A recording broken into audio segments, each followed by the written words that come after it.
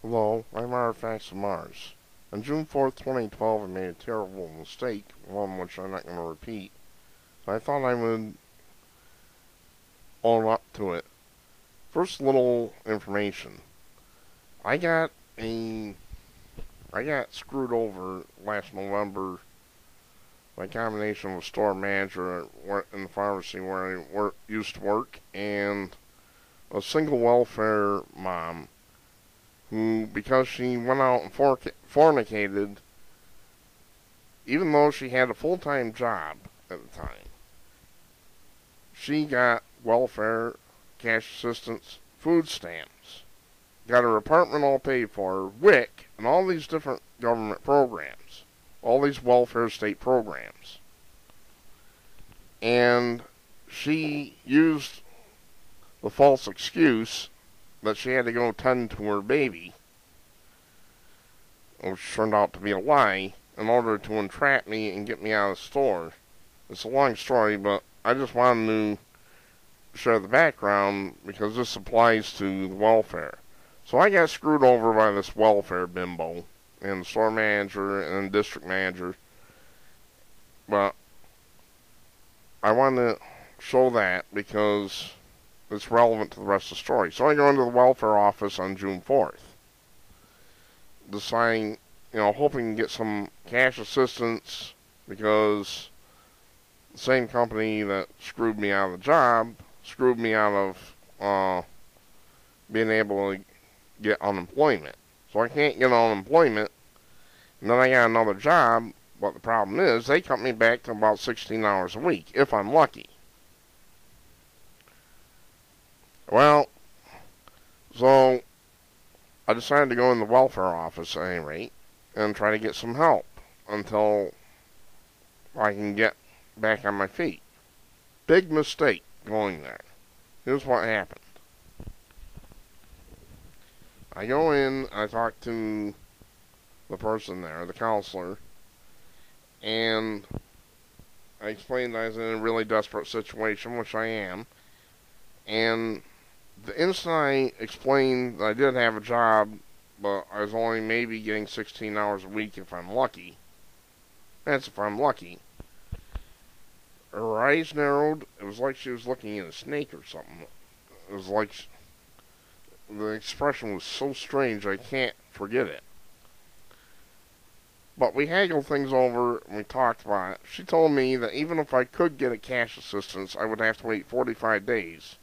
I didn't have the right stubs, so I would actually have, have to wait a month on top of that 45 days, which wouldn't do me any good. Because I certainly wasn't going to be able to hang on that long. Her eyes narrowed, and she said even if I could get a cash assistance, that, in fact, it would be a loan lien against my house. In other words, it would be a loan, not actual assistance. So she managed to talk me into food stamps, which I never applied to, and you'll see the reason why in a minute. I never applied to the food stamps or the Medicare. In fact, I won't go anywhere near a welfare office now, and here's the reason. You see this card? I found this stuck to my mailbox. It turns out that I was turned into investigation. Uh, left this, I found it two days after I went into the welfare office. I'd always thought the welfare was a big scam. essentially, they were taking the money of working people, especially people like myself, white males, single white males, and using it to buy votes. Desperate men can do desperate things, and I'm a desperate man, so I decided to go for help. Like I said, I was right all along about welfare.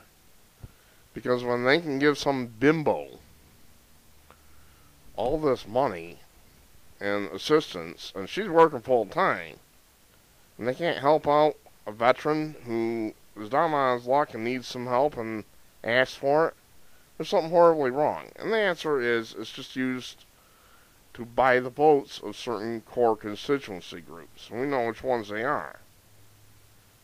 You know, this is why the welfare has got to go.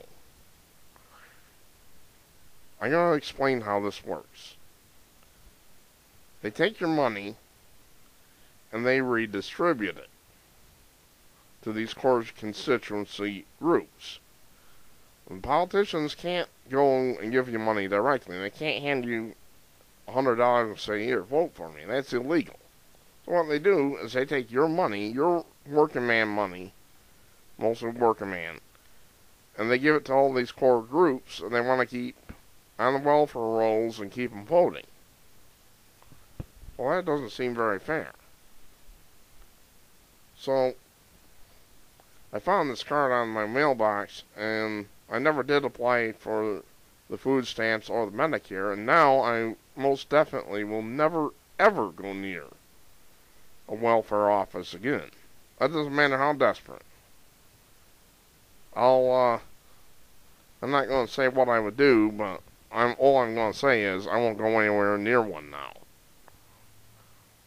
We need to get more charities. We need people going back to church and, you know, don't tithing and all that in order to take up the slack. And we need to end the welfare.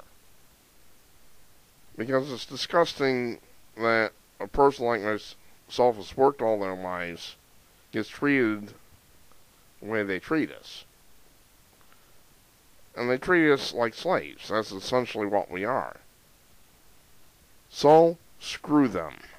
And screw the welfare. Welfare is a scam. It is immoral. So, end it. This is my whole thing. We need to vote every single one of these rascals out of office, and we need to need to end these entitlement programs. I don't really give a crap. You know, if they can't help help out somebody who's truly down on their luck, and yet they can shell out all this money to all these different programs to some bimbo who goes and gets herself knocked up, then something is horribly wrong. So, I said, we need to end the welfare. I've owned up to my mistake. I made it. I went to the welfare office. Now I won't go anywhere near it.